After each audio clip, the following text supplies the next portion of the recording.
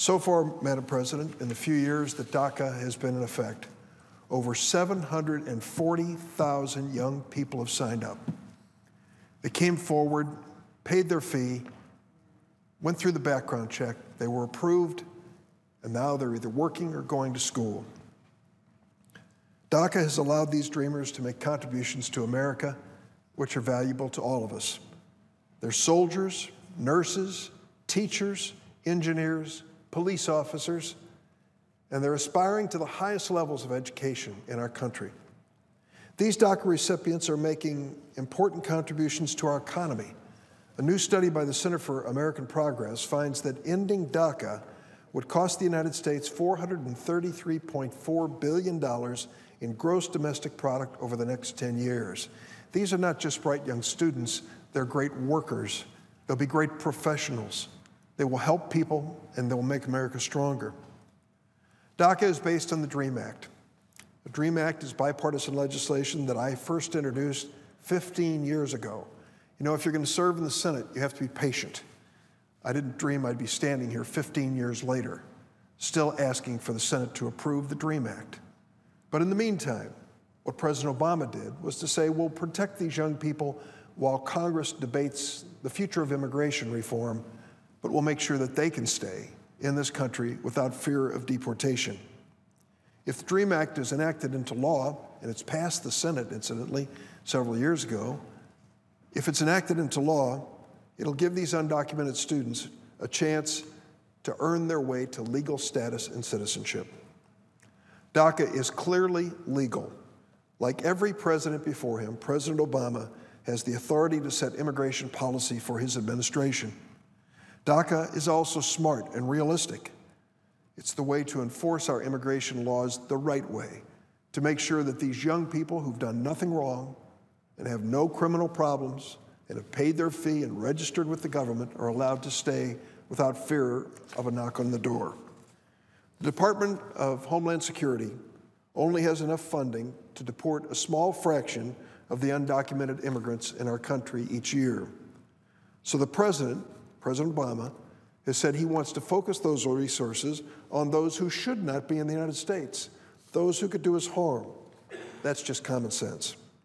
At the same time, the president said we shouldn't waste our resources on deporting young immigrant students who grew up in, in the United States and are making contributions to our future.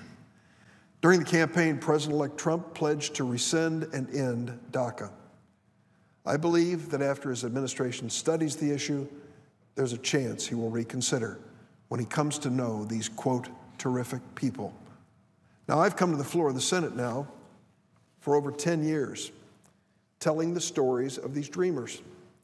There was a time when they were afraid to come out publicly and tell America who they were. They'd been warned by their parents since they were little kids be careful. If you talk to the wrong person, if you do the wrong thing, if the police knock on the door, you may be deported along with the rest of your family. So be careful. Well, as kids will, these young people across America have decided they're not going to hide who they are. They want to tell America their story, and I've tried to help them. When they send us their biographies, along with a photograph, I've come to the floor on about 100 different occasions to tell the stories of these dreamers. Each one, in my estimation, is more amazing than the next. And today is no exception.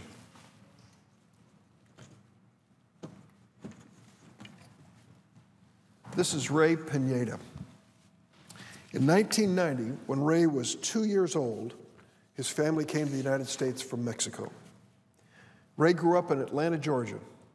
He worked hard, honor roll student in high school. He became the first member of his family to attend college. In 2010, he graduated with a major in philosophy from Southern Catholic College in Dawsonville, Georgia. Rey is a devout Catholic, and he decided to attend Mundelein Seminary in my home state of Illinois. Rey felt that God was calling him to be a priest, but his spiritual path was blocked. Rey is undocumented. Rey is a dreamer. Then in 2012, everything changed. President Obama signed the executive order establishing DACA. In March of 2013, Rey was approved, filed his fee, went through the background check, did everything he was asked to do. He received his DACA status, and he knew that at least for two years he would not be subject to deportation. That allowed him to become a deacon in the Catholic Church two months later in May of 2013. In 2014, Rey entered the priesthood after he graduated magna cum laude from Mundelein Seminary in Illinois. He has a master's in divinity. Today, Father Rey Pineda is a priest at the Cathedral of Christ the King in Atlanta, Georgia. He wrote me a letter, and here's what he said about DACA. Like many dreamers, the United States is really the only country I know. DACA was an answer to many years of prayer. Without DACA, I would not have been able to serve as a priest in my community. I believe my faith in God has brought me to this point in my life. But my faith in America's promise has pushed me to keep fighting for peace, justice, and opportunity in this great country I proudly call home. If DACA is eliminated, and that threat has been made, Father Rey Pineda will lose his legal status and be subject to deportation, being sent back to a country that he hasn't lived in since he was two years old.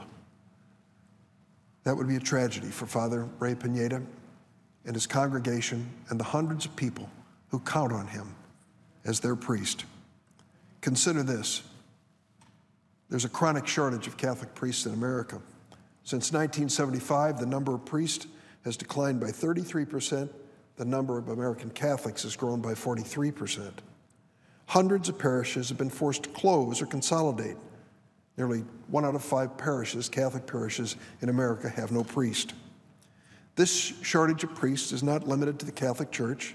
The problem is so serious that Congress has established a religious worker visa to allow people from overseas to come in on a visa and serve as priests in communities. It's happening all across my state of Illinois, and I'll bet it's happening in Iowa. You go to parishes in rural areas, and there'll be priests from all over the world. I recently met one in Rome who was in southern Illinois at Pinckneyville, and he was from Nigeria. At a time when the United States is actively importing ministers and priests from foreign countries, why do we want to deport Father Rey Pineda? This makes no sense. Listen to what Father Rey told me about his role as a priest and also as an undocumented immigrant. I believe my entire journey has prepared me to be compassionate with the sufferings of the many people I encounter. I look at my ministry as a calling to build bridges between people from all walks of life. Diversity sometimes brings challenges between people. I want to help to heal those differences. After the most divisive election in recent memory, I believe that Father Rey Pineda and other dreamers just like him have an important role to play in healing the differences that divide America. I am hoping that President elect Trump will see this and will continue the DACA program. But let me be clear if there is an attempt to shut down DACA, I will do everything in my power as a United States Senator to protect the dreamers who have stepped forward and contributed their talents to our great country. Madam President, many of those dreamers and their parents spoke to me that day at Navy Pier and ever since. They said, Senator, are you sure? Are you sure that we should sign up with this government?